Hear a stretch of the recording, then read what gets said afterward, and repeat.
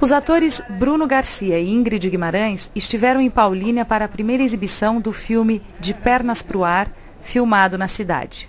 Ah, é, cara, o filme tá divertidíssimo. Ingrid Guimarães encabeçando, tipo, diversão garantida. Maria Paula espetacular. E eu sou simplesmente um pajem. Ali ladeando essas beldades que estão arrebentando. O filme é, muitas surpresas, muitos personagens engraçados. E eu tenho certeza que vai fazer muito sucesso. Meu nome é Roberto Santucci, eu sou diretor do filme de Pernas pro Ar.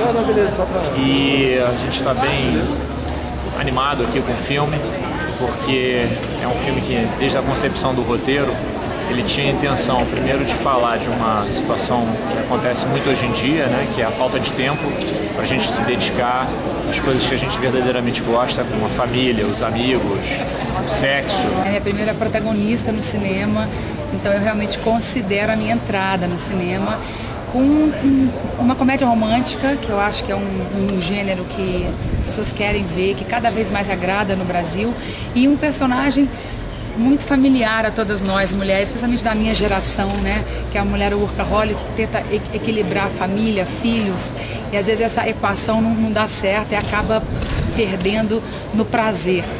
Né? Então ela descobre, ela redescobre o prazer dela através de objetos de sex shop, faz disso um grande negócio e através disso ela redescobre a relação com o marido. Então eu acho que a gente fala de, de assuntos muito familiares a nós mulheres e fala também do papel do homem hoje, né? Que esse homem que está se adaptando a essa mulher que tem, que faz tudo ao mesmo tempo, né? E aí, galera do Cosmo Online, vocês não podem perder Ingrid Guimarães. Bruno Garcia. Maria Paula.